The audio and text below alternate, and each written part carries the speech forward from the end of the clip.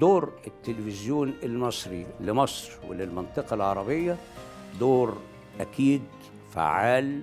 ما كانش الإعلان مهم كان إعلام ميم. يعني في العيد الستيني هقول إيه؟